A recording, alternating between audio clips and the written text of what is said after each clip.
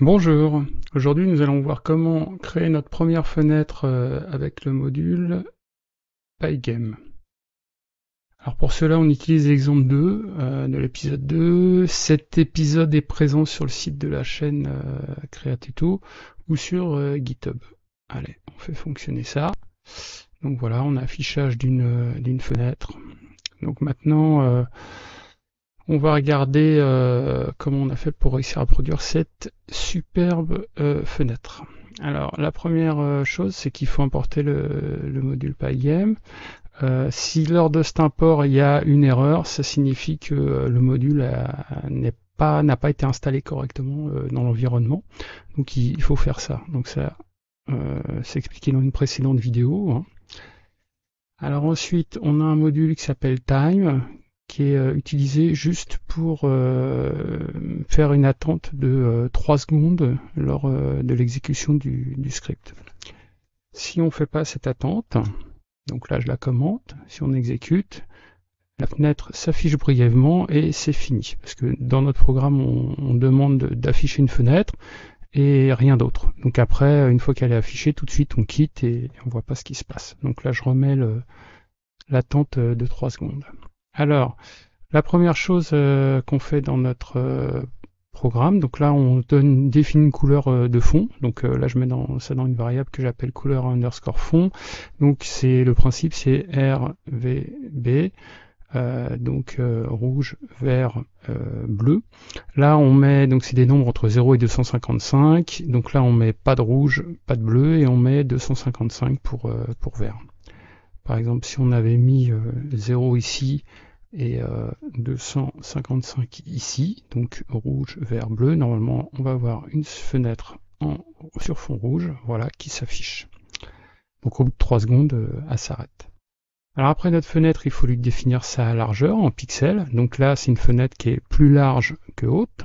Hein. Donc par exemple, on pourrait dire, je définis, euh, voilà, admettons en hauteur, au lieu de mettre, je mets 600 en hauteur, et si je relance l'exécution, Là, j'ai cliqué sur le debug. Donc là, si je relance l'exécution normalement, toc, on a une fenêtre qui est, plus grande. Alors là, comme elle affiche en plein écran, on voit pas le, haut de, cette fenêtre.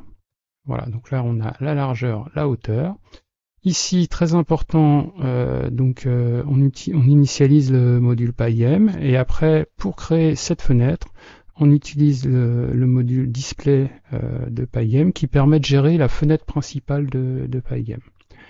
Ça, ça nous permet donc avec un set mode, à l'appel à la méthode set mode, on lui donne un seul paramètre, hein, donc là, faut faire attention, c'est une paire de valeurs, donc qui est comprise dans un tuple hein, avec la largeur et la hauteur, et euh, ça nous permet d'afficher la fenêtre et de récupérer une variable, donc là que j'ai appelé FEN, FNE, pardon, que je vais pouvoir utiliser plus tard euh, dans le programme. Une fois qu'on a fait ça, on fixe le titre donc de, la fenêtre. Donc là, on l'appelle épisode 2. Hein. Voilà, par exemple, si je mets trois petits points, que je fais un run, voilà, je me retrouve bien avec les trois petits points qui sont affichés ici dans le titre de la fenêtre. Ensuite, on remplit la fenêtre avec la couleur de fond, donc qui est ici donc RVB, donc qui est rempli avec du rouge ici. Et cette modification de couleur, on l'a fait euh, afficher ici, là, cette instruction-là, donc euh, euh, flip, l'appel à cette méthode flip, permet de mettre à jour le, contenu de, la fenêtre. Par exemple, si je commande ça, je fais fonctionner, vous voyez ici, la fenêtre s'affiche, elle reste en noir, c'est la couleur par défaut, et euh, bien qu'on ait précisé que la, fenêtre devait être de, couleur rouge, euh, elle n'est pas remplie. C'est grâce à cette instruction-là qu'on met à jour l'affichage.